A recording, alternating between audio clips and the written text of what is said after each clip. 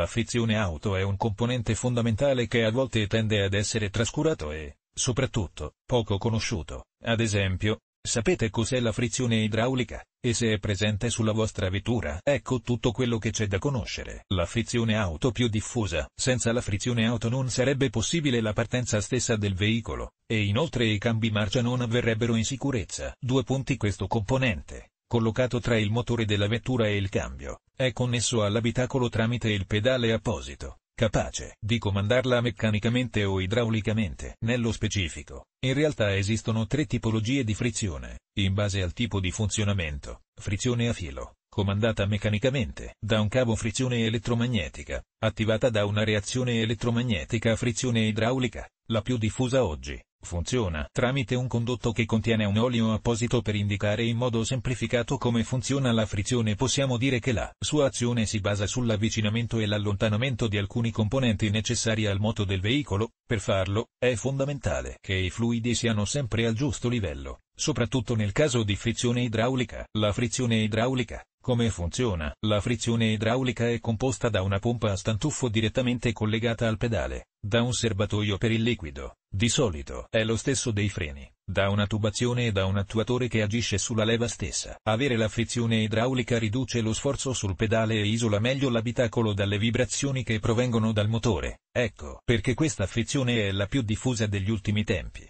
Sulle auto con cambio manuale, la manutenzione principale riguarda principalmente la sostituzione dell'olio idraulico. Questa procedura deve avvenire, come prescritto, ogni 3 anni o 60.000 km. Come sempre, rispettare questa scadenza vi metterà al riparo da alcuni possibili inconvenienti. Scopriamo quali. I problemi della frizione idraulica. Se è vero che la frizione idraulica rende fluidi gli innesti, ricordate che può comunque essere soggetta a vari malfunzionamenti, come ogni frizione. Del resto, ad esempio, ogni volta che ne premete il pedale, esso spinge il pistone della pompa, esercita una pressione sul fluido idraulico dal serbatoio e la trasmette al cilindro attuatore. In questo modo potete agevolmente cambiare marcia, ma può capitare una perdita nel circuito, con conseguenze spiacevoli. Se entra aria sarà necessario disaerare la frizione auto idraulica, anche in questo caso, dato che si tratta di una procedura complicata, Evitate il fai da te e rivolgetevi a un professionista. Un altro disagio riguarda eventuali perdite di olio, nello specifico, se vi capitasse di trovare olio sotto il pedale, dopo aver messo un panno per limitare i danni, dovrete portare la vettura in officina, perché sarà una perdita del cilindro maestro, la cui pompa si trova proprio sotto la pedaliera. Un altro problema della frizione idraulica può riguardare il pedale, che resta abbassato e non in posizione standard. In questo caso,